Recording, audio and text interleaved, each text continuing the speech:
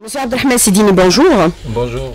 Alors, la lutte contre le terrorisme et ses ramifications, les pays arabes se mobilisent. Les ministres de l'Intérieur présents à Alger renforcent leur coopération sur tous les plans pour lutter contre ce fléau qui menace les États et leur stabilité. Quelles sont les actions qui se sont dégagées essentiellement Monsieur euh, Sidini? Oui, c'est une rencontre euh, éminemment importante euh, qui s'inscrit dans l'ordre des sessions du Conseil des ministres de l'Intérieur arabe. C'est la 35e session qui a été organisée en Algérie euh, hier. elle a permis de promouvoir la, la, coordination entre les pays arabes en matière sécuritaire. Donc, quand on dit matière sécuritaire, c'est tout ce qui a trait à la lutte antiterroriste, au blanchiment d'argent, la cybercriminalité, la sécurisation des frontières, ainsi de suite. Donc, euh, c'est toutes les questions sécuritaires qui ont été débattues euh, au détail près euh, par les experts dans les réunions de préparation et entérinées par une déclaration finale des ministres de l'Intérieur arabe et qui ont convenu de poursuivre leurs efforts pour une étroite coordination et collaboration entre les différents pays euh, pour endiguer le phénomène du terrorisme, euh, éradiquer cette tendance d'endoctrinement euh, idéologique en faveur de, de l'extrémisme et de lutter contre les différents supports qui sont utilisés par les groupes criminels euh, en matière de, terrorisme, notamment tout ce qui est blanchiment d'argent, euh, le trafic de drogue et stupéfiants, euh, et tous les, tous les moyens utilisés par ces, par ces groupes. Alors les ministres de l'Intérieur arabe se disent aujourd'hui inspirés, s'inspirer de l'expérience algérienne, lutter, la lutte militaire, mais à la fois lutter contre les ramifications de l'extrémisme. Qu'est-ce que cela implique exactement, Monsieur Sidini? Absolument, parce que euh, au vu de l'expérience algérienne, la décennie euh, tragique euh, que nous avons traversée durant les années 90 nous a donné une, avance par rapport à, d'autres pays frères et, amis. nous sommes dans la lutte antiterroriste pluridimensionnel, je dirais, donc on touche un peu à tout. Euh, notre conception de lutte antiterroriste elle ne s'articule pas uniquement aux aspects opérationnels et militaires, mais également à d'autres aspects, euh, euh, y compris l'assèchement des sources de financement de ces groupes terroristes et s'attaquer à des problématiques aussi importantes que les aspects opérationnels, notamment le blanchiment d'argent, euh, la connexion entre le terrorisme, l'immigration clandestine, le trafic de drogue et stupéfiants, qui sont des sources de financement privilégiées pour ces groupes. Et puis, d'un autre côté, donc, il y a un travail vis-à-vis de la société, donc améliorer la situation économique de, nos populations, euh, appuyer le retour des populations à leur localité d'origine. Donc, il y a pas mal d'expériences qui a été capitalisée par l'Algérie en de, en matière de lutte contre les effets de ce phénomène et qui sont mises à profit actuellement au niveau régional et international pour développer des stratégies régionale et mondiale en matière de lutte antiterroriste. Mais comment évaluer la situation actuelle par rapport au déploiement des euh, groupes terroristes, Monsieur euh, Sidini, de façon concrète, puisque certains disent aujourd'hui qu'au niveau du Moyen-Orient, la lutte est permanente et que ces groupes pourraient un peu s'infiltrer au niveau de la région du Maghreb arabe oui, on assiste actuellement à un redéploiement de ces, groupes terroristes. Donc, euh, il y a quand même un, redéploiement assez rapide de ces groupes d'une région vers une autre. Et c'est un, fait qui est observé avec beaucoup, beaucoup de prudence, notamment le retour des combattants. Et euh, il y a toute une stratégie qui est mise en place, aussi bien avec les pays frères, donc les pays, arabes qui connaissent des difficultés sécuritaires, qu'avec d'autres sous-régions, notamment la région Sahel, qui euh, bénéficie d'une attention toute particulière compte tenu de sa proximité avec, euh, avec nos, frontières. Et c'est euh, cette mobilisation quasi rapide de ces groupes qui utilisent différents moyens pour se redéployer. Maintenant, il est évident que c'est des manipulations à différents niveaux et des complicités qu'il y a lieu de, de traiter au cas par cas. L'échange d'informations, il est stratégique aujourd'hui en matière de lutte contre le terrorisme, notamment pour le déploiement de ces groupes terroristes qu'on appelle aujourd'hui les combattants qui tentent de retourner dans leur pays d'origine. Le Tunisien avait euh, parlé d'un échange permanent entre l'Algérie et la Tunisie pour sécuriser les frontières. C'est le cas? Bien évidemment, parce que maintenant il est évident qu'un pays seul ne peut pas euh, faire face à ce phénomène qui est euh, par nature transnational. Donc il est tout à fait normal qu'il y ait un échange assez intense entre les pays, et notamment les pays, euh, les pays arabes, pour pouvoir faire face à toutes les menaces qui se présentent. Et euh, nous avons euh, effectivement des relations bilatérales très très poussé avec, euh, avec nos voisins, notamment la Tunisie, la Libye, euh, compte tenu des, difficultés euh, qui sont rencontrées dans cette, dans cette région, mais également avec tous les pays arabes qui, qui ont assisté à cette session. D'ailleurs, la preuve, c'est une session qui a connu une participation record par rapport à, d'autres sessions du Conseil des ministres de l'Intérieur arabe. Et cela prouve que nos, nos frères accordent un intérêt particulier quant à l'apport qui est euh, fourni par, l'Algérie en matière de lutte antiterroriste. Mais quand vous parlez de présence record, c'est 21 ministres de l'Intérieur qui étaient présents hier euh, à cette session, à l'exception bien sûr du ministre syrien de l'Intérieur qui s'est fait remplacer par euh, son représentant diplomatique, son ambassadeur. Mais aujourd'hui, quand on parle d'assèchement des sources de financement du terrorisme, pourquoi le lien est fait avec l'immigration clandestine, monsieur Sidini? Parce que justement, actuellement, euh, l'immigration clandestine, ce n'est plus un phénomène, euh, je dirais, de, mobilité euh, démographique dû à des, à aléas économiques, mais elle est interconnectée avec des réseaux qui s'adonnent maintenant à la traite humaine, à des réseaux de trafic d'immigration et qui, se, qui utilisent ces, réseaux pour bénéficier de ressources financières et puis pour se redéployer, parce que c'est un moyen qui leur permet, dans la clandestinité, de se redéployer d'une zone à l'autre. Et c'est tout à fait normal que qu'on s'intéresse à ce phénomène tout à fait particulièrement pour éviter justement ce redéploiement de ces groupes et euh, éviter que ces réseaux soient utilisés mis à profit pour, euh, pour, pour avoir des ressources financières qui vont être utilisées par la suite pour des actes subversifs. C'est-à-dire c'est les groupes terroristes qui utilisent ce moyen pour se procurer des financements supplémentaires? Absolument. Alors, euh, est-ce qu'on peut considérer aujourd'hui, Monsieur euh, euh, Sidini, par rapport à la situation que connaît le monde arabe, c'est-à-dire cette instabilité, avec la crainte bien sûr du retour de ce qu'on appelle aujourd'hui les combattants, qui sont des terroristes, vers leur pays d'origine, il y a une prise de conscience sur la nécessité de travailler ensemble en mettant de côté toutes les divergences qui pourraient peut-être se poser? Oui. entre les États. Oui, le, phénomène, le phénomène de, retour des combattants, il intéresse non seulement euh, les pays qui sont directement concernés, donc ceux qui reçoivent un apport de ces, de ces, de ces groupes et qui sont issus de ces pays mêmes, mais il intéresse aussi d'autres pays qui euh, traitent la, chose sécuritaire de manière stratégique. Euh, parmi ces pays, notre pays qui n'est pas directement concerné avec le même volume que, que, que les autres pays par ce phénomène, mais comme il y a du retour de, combattants euh, dans des pays à nos frontières, donc il est tout à fait évident qu'on s'intéresse euh, à ce phénomène tout, particulièrement.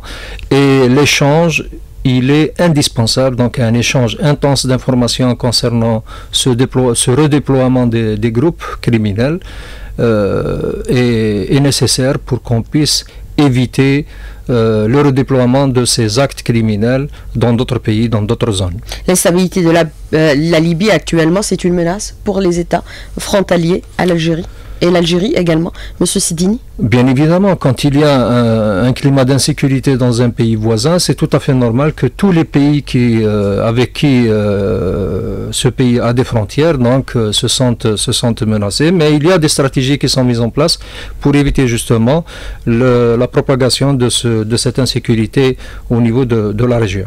Alors, dans son discours, le chef de l'État a, a réaffirmé que le radicalisme est une menace pour la stabilité des États. Est-ce qu'il est nécessaire aujourd'hui de revoir le discours religieux. C'est ce qui a été préconisé par le chef de l'État. Comment le discours religieux pourrait aujourd'hui euh, aller dans le sens un peu de la tolérance et euh, de, des libertés?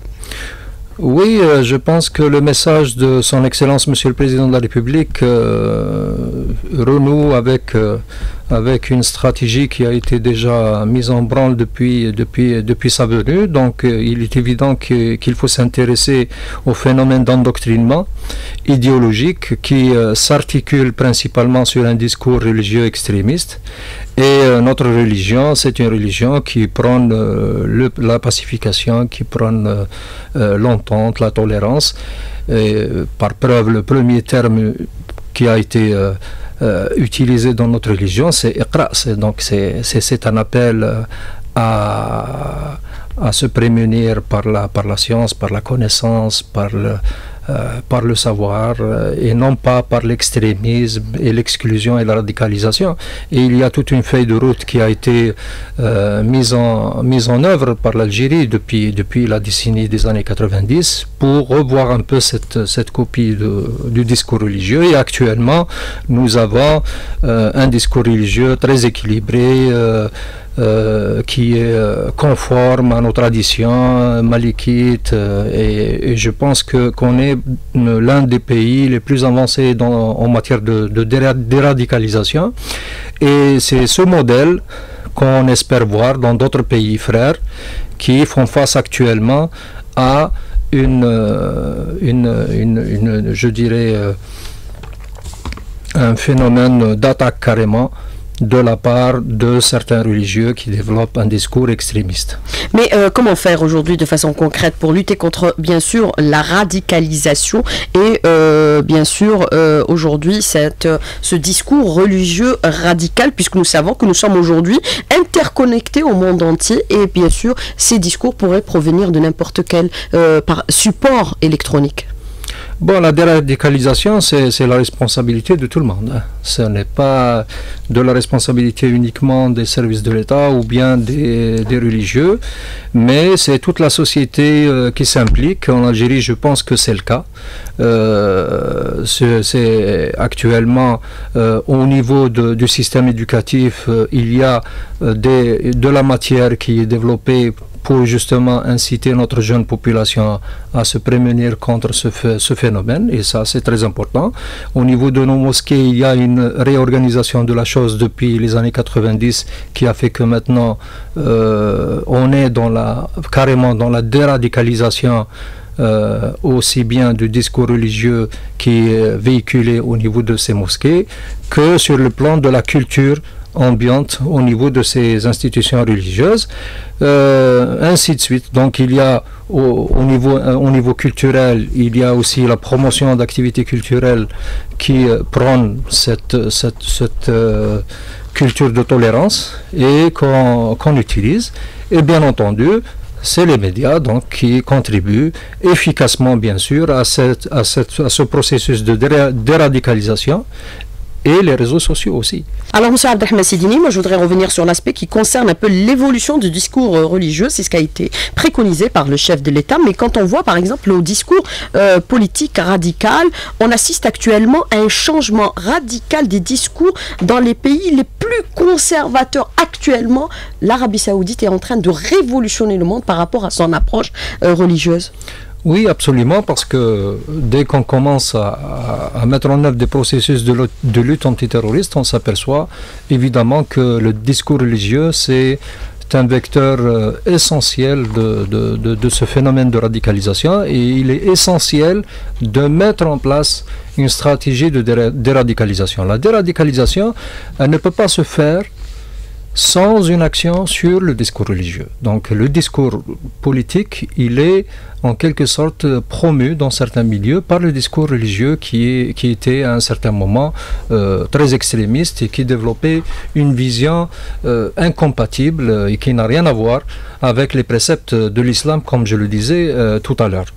Et l'orientation de son Excellence, Monsieur le Président de la République, dans sa feuille de route, dans son message qui a été lu par euh, Monsieur le ministre de l'Intérieur et des collectivités locales et de l'aménagement de territoire, euh, portait sur euh, les moyens de, faire adopter ce processus de, de déradicalisation euh, de lutte contre l'endoctrinement idéologique, aussi bien au niveau du discours politique, du discours pédagogique, du discours religieux, du discours culturel qui est véhiculé dans les différentes sociétés, euh, non seulement arabes, mais même euh, dans des pays amis, c'est de le faire adopter au niveau régional. Parce que lutter contre le terrorisme, c'est un package qui, qui comprend aussi bien l'opérationnel, l'économique, le social, mais également le, côté intellectuel. Donc tout ce qui est euh, discours religieux, tout ce qui est système éducatif, euh, équité sociale, ainsi de suite. Et là, c'est toute la stratégie que se déploie avec ces différents, euh, ces, différents modules. C'est la raison pour laquelle il y a eu une orientation tout à fait particulière dans cette feuille de route. Et elle est évidemment, bien sûr, essentielle dans notre processus de lutte contre c'est criminel.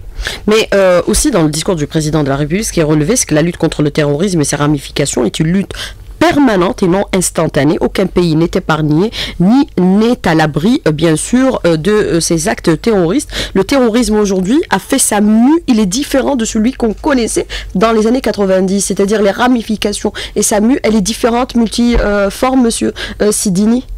Elle est partout, même sur la toile, puisqu'on parle aujourd'hui de la cybercriminalité et la toile qui pourrait être à l'origine du recrutement euh, de jeunes euh, terroristes. Effectivement, c'est un phénomène qui se développe avec une rapidité incroyable. Donc, euh, je vous rappelle que... Il faut être vigilant sur le plan de la lutte. Durant les années 90, par exemple, on faisait face à l'extrémisme et, au terrorisme seul on n'a pas bénéficié euh, de l'assistance de, la société euh, euh, au niveau régional ou international. On était pratiquement seul face à, ce phénomène et on a pu quand même l'endiguer et, le gérer de manière assez positive et assez efficace.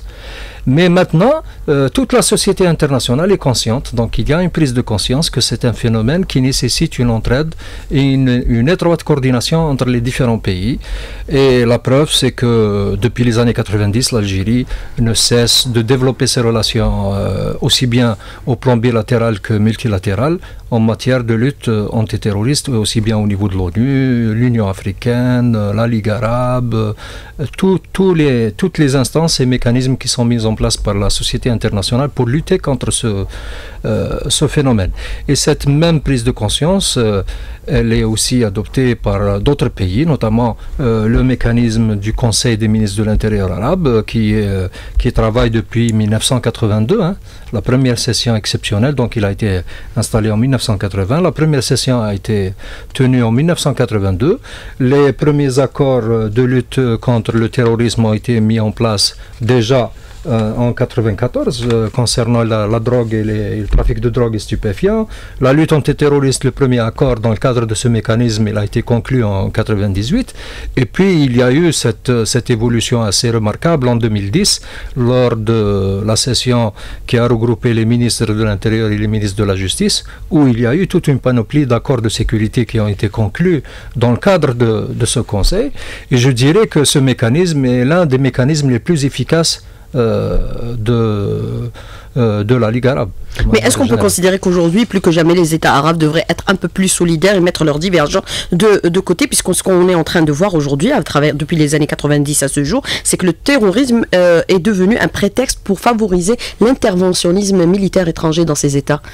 Oui, effectivement, c'est vrai que bon, il y a certaines divergences, mais je pense que contrairement à ce qui peut être perçu, le phénomène de lutte antiterroriste est un, est, un processus qui euh, amène de manière, euh, je dirais presque systématique, au rapprochement des positions des différents pays arabes. La preuve, euh, le climat de sérénité qui a régné hier. qui a régné Alors tout le monde craignait éventuellement un clash entre l'Arabie Saoudite et le Qatar. Eh ben, c'est pas ce qui s'est passé. Donc c'est une, c'est une, c'est une session qui s'est déroulée dans la sérénité, dans le calme, bien au contraire, on, a pu développer un discours assez, assez cohérent en matière de lutte antiterroriste avec les différents aspects, les différentes ramifications dont vous parliez euh, tout à l'heure.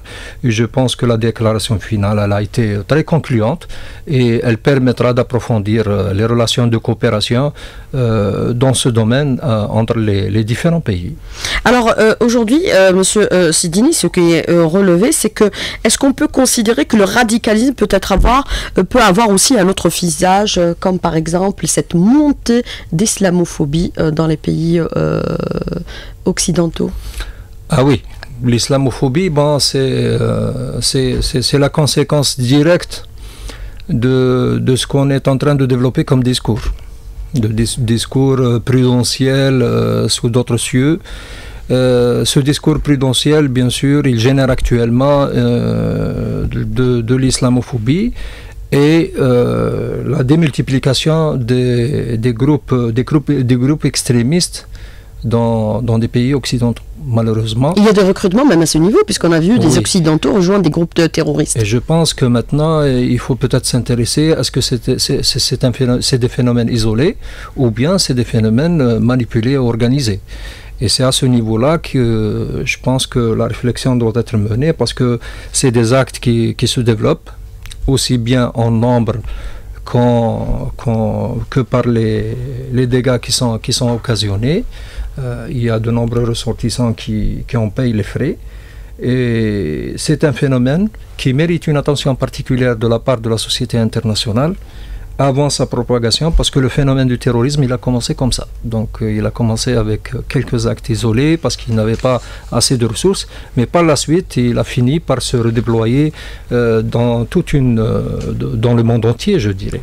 Donc il faut absolument avoir une, une attitude préventive euh, particulière vis-à-vis de ces phénomènes qui a tendance à se propager et qui aura des, des conséquences assez néfastes aussi bien pour les, euh, les communautés qui sont installées dans ces pays que pour les relations entre, entre différentes, différents pays, bien entendu. Alors, lutter contre les ramifications euh, du terrorisme par le développement et l'équité à travers le territoire national, beaucoup de euh, régions dans notre pays euh, nécessitent aujourd'hui un développement économique. Est-ce que c'est ça aussi l'objectif des pouvoirs publics Assurer une équité au pour le développement Bien sûr, parce que... équité et égalité. L'équité, c'est, l'élément de base. Hein. C'est l'élément de base. Euh, pour endiguer ce, ce, phénomène. Parce que s'il y a de l'exclusion, c'est tout à fait normal qu'il que, que, l'extrémisme va se propager et se développer. L'occupation de tout le territoire aussi, c'est important. Et fort heureusement, euh, l'Algérie a été très consciente euh, par rapport à cet aspect. C'est la raison pour laquelle, euh, lors des différents programmes de développement qui ont été initiés par son Excellence Monsieur le Président de la République, il y a toujours eu un, un programme spécifique pour le développement des zones à promouvoir, premièrement, les zones des hauts plateaux, les zones du sud, et il y a eu même un programme spécifique pour le retour des populations à un certain moment et qui a permis aux populations d'être fixées dans leur localité d'origine, euh, d'effacer tous les stigmas de, de, l'activité terroriste qui a eu lieu pendant les années 90. Et je pense que c'est un programme tout à fait euh, qui, qui, est concluant et qui a ramené ses résultats. La preuve, euh, il suffit maintenant de, de visiter les zones rurales, les zones qui ont été touchées par ce phénomène. Et franchement, c'est un succès franc pour le, pour le pays. Et c'est une stratégie qui est maintenant adoptée par d'autres pays. C'est la même pratiquement qui est adoptée par d'autres pays qui sont en, cours, de, lutte contre le terrorisme. Alors, euh, monsieur euh, Sidini, des questions des auditeurs qui reviennent un peu sur, par exemple, le prêche religieux ou les discours religieux. Comment vous pouvez parler de discours religieux tolérants quand on regarde les chaînes de télévision rivées qui sont suivies aujourd'hui par des millions de téléspectateurs qui prennent un discours extrémiste avec des fois des prédicateurs connus. Quel est votre commentaire justement par rapport à cette question? On l'a abordé tout à l'heure dans la première partie de l'invité de la rédaction. Bon, je ne sais pas de quelle, de quelle euh, prêche religieuse on, fait allusion, mais euh, je pense que le ministère des Affaires religieuses actuellement, il axe ses efforts justement à la modération de, ce, de, ces prêches, prêches religieuses, à leur orientation et inciter les, euh, nos savants et, prédicateurs à adopter une attitude réconciliante, tolérante. On ne parle pas des imams dans les mosquées, on parle du prêche religieux via les télévisions.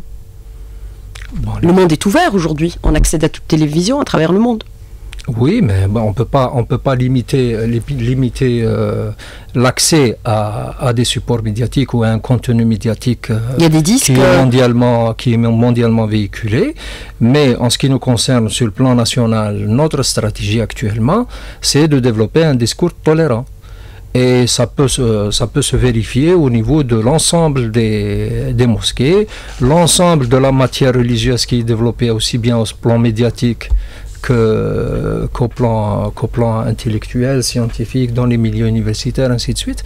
Donc je pense quand même qu'il y a des contenus tout à fait différents d'années précédentes. Il y a une stratégie qui se met en place actuellement et le ministère des Affaires religieuses, il est vraiment très regardant là-dessus, euh, sans pour autant euh, porter atteinte à la liberté d'expression. Bien au contraire, c'est une, une réorientation qui s'installe qui par elle-même. Donc, et même les religieux sont conscients de la nécessité de développer ces contenus.